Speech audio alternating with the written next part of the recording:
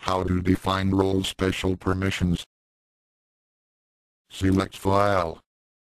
Select special permission. Select role name. Click show.